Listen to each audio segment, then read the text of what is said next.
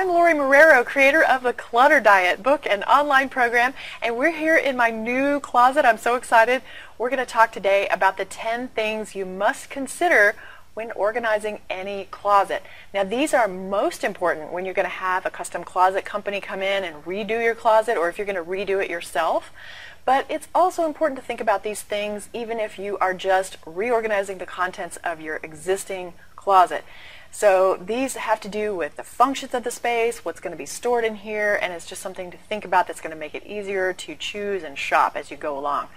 I want to say another big thank you to my friends at More Space Place. They did this closet and we just did our previous video that was a little tour of some of the very cool accessories that we put in here.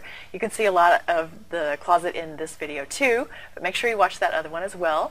So thanks again to More Space Place.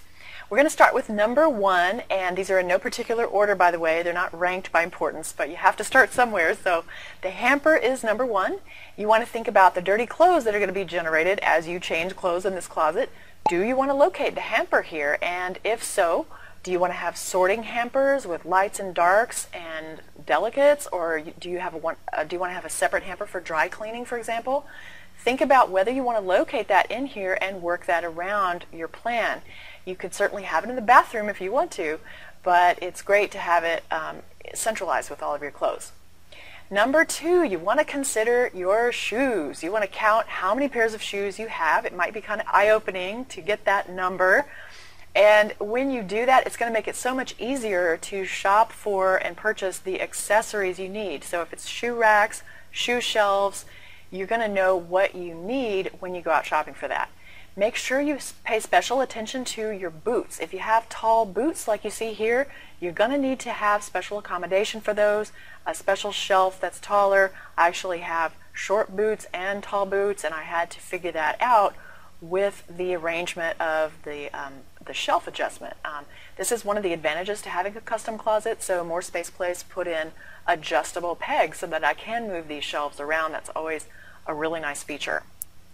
The third thing to consider is short hanging clothes and long hanging clothes.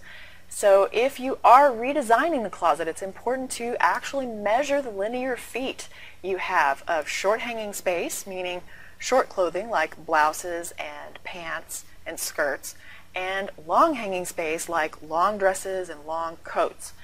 So you may even want to measure the longest piece of clothing you have, such as a very long dress or something, making sure that you hang that rod at the appropriate height when you are redoing the closet.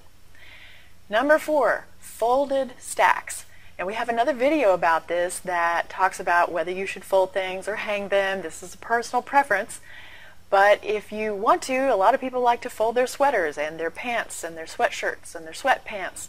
So if you have that, you may need to have extra shelf space to accommodate those. You also might want to buy shelf dividers like you see here to hold up those stacks and keep them from toppling over on each other. In a related category, there are other kinds of folded clothes that go into drawers. That's number five. So your underwear, your socks, your pajamas, your workout clothes, whatever those things are that need to be in drawers, you may want to try to centralize those into the closet. So you can even move a small chest of drawers into your closet. Think about that. I've done that countless times for clients and you can have all your clothes in one place. It's really great. That's what I did here. I've got these built-in drawers that you can see and that has been wonderful. Number six is purses and handbags, tote bags, whatever you want to call them. But when you have your purses lined up on a shelf, sometimes they take up way more space than you think. You may be able to accommodate those with a different kind of product or some hooks on the back of a door, but whatever you do, make sure you understand what you have so you can accommodate those. Here you can see that I use one of these shelf dividers to prop up my little small clutch purses and separate them from the other purses.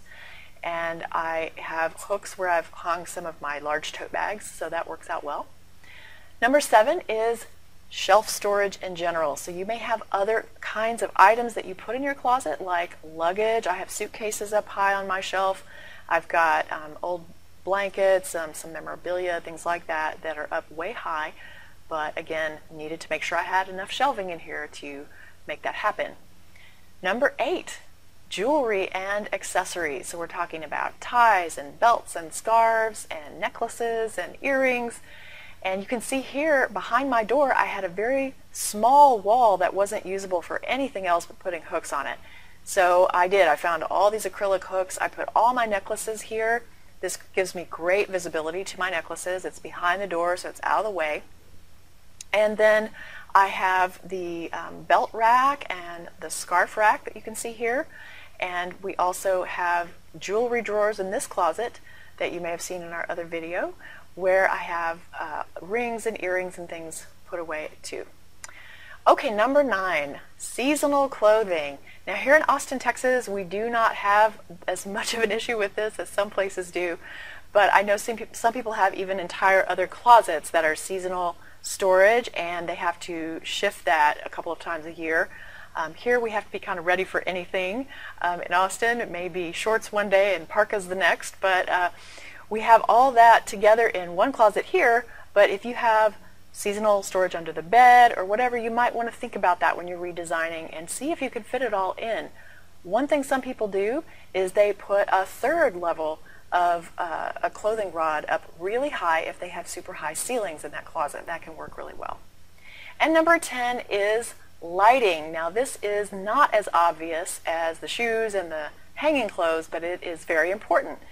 After I've built this house, I've realized that I don't have enough lighting in here. I'm going to have a handyman come in and put in a large fluorescent fixture because I really can't see as well as I would like to in here. It's important when you're trying to match things up or you're trying to tell navy versus black and you certainly don't want to go out of the house mismatched. So it's great to have good lighting. It just feels better and you can have better visibility, which is the goal of any organizing project. We hope you have enjoyed this tour of the new closet. Let me know if you have any questions here below in the comments, and we will see you next time. May you always be happy and grateful for having more than enough.